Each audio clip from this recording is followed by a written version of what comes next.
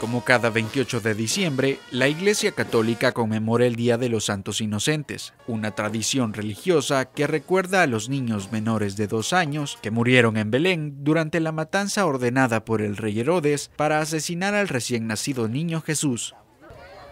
Estas actividades se realizan en el marco de las fiestas patronales del municipio de Antiguo Cuscatlán en honor a los santos niños inocentes, Lorenza Alfaro expresa la importancia para su familia de asistir a las festividades. Venimos año con año a la festividad de, aquí de Antiguo Cujatlán y como ve pues seguir con la tradición, ya pasársela a ella para que en un futuro ella siga con la tradición de la familia. Una de las actividades principales es la de la procesión, donde cientos de imágenes del Niño Dios son portadas por la feligresía católica y recorren las principales calles y avenidas del municipio.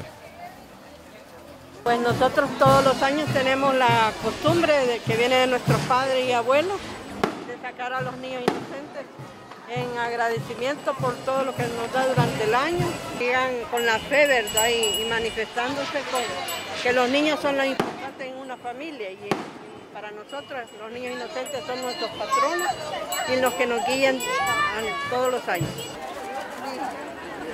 Informó para la prensa gráfica Vladimir Fermán.